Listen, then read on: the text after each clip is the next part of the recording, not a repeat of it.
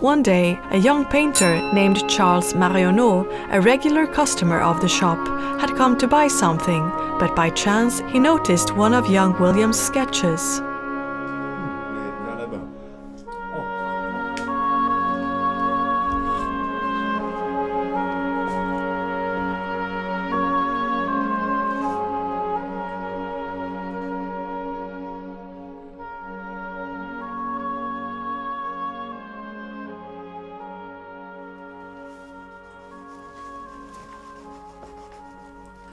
Tout ça, c'est ton travail Oui, c'est le mien.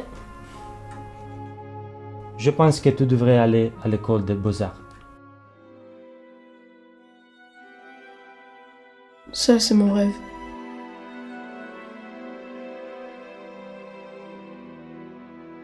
From that fortuitous meeting, Charles Marionneau decided to help William Bouguereau at 16 enter the Academy of Fine Arts to which he belonged.